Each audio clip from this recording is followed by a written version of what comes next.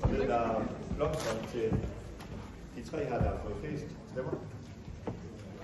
Så skal vi lige give dem en stor hånd.